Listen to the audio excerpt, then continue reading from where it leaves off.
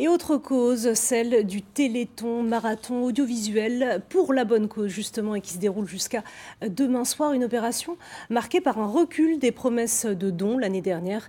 Ils permettent pourtant de soutenir la recherche mais aussi les malades et leurs familles au quotidien. Illustration à Frochevillers, Sylvie Malal, Valérie Ruissoury. Maëlia aura trois ans dans une dizaine de jours. Plus le temps passe, mieux elle se porte. Aujourd'hui, elle arrive à mettre un pied devant l'autre et c'est une immense victoire sur la maladie.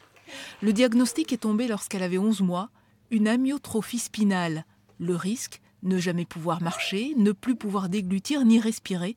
Sauf que la recherche, en partie financée par l'argent du Téléthon, est venue au secours de cette petite fille. Dans notre malheur, on a eu beaucoup de chance de tomber sur cette pathologie, parce qu'on est, voilà, on est dans un moment où il y a, énormément de recherches, il y a énormément d'avancées sur cette, euh, sur cette pathologie-là. Donc c'est vrai que, qu'on, a quand même eu, qu'on a quand même eu énormément de chance. 432 euros pour la tombola.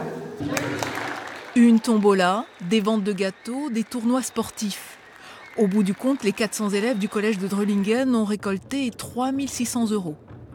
Ils se sont mobilisés pendant une semaine, alors quand on lui parle de baisse des dons, la coordinatrice du secteur ne veut pas s'y attarder. Je pense que c'est l'armée en général au niveau national qui provoque effectivement cette baisse.